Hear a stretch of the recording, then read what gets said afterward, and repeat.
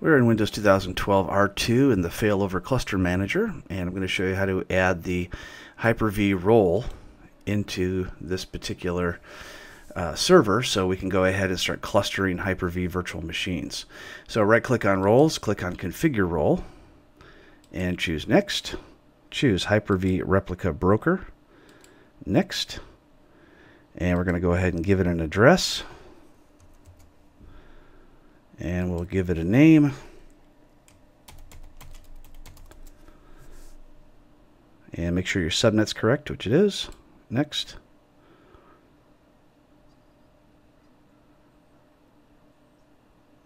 And we are ready to configure. Yeah, and this could take anywhere from a few minutes to a few seconds. So it says it was successful. We have one warning uh, that's fine because the other server isn't up yet and uh, says Hyper-V2 cannot be hosted yet. So very good. So everything looks really good. We have the uh, VM broker role running and we are ready to start installing virtual machines.